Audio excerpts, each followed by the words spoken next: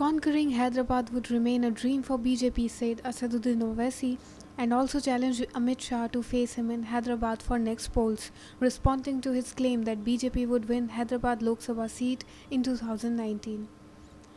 Asaduddin Owaisi was quoted saying, I dare you to contest the next elections against me from Hyderabad. Instead of finding a candidate, Amit Shah is welcome to contest against me. Winning the Hyderabad Lok Sabha seat will remain a dream and a mirage for the BJP.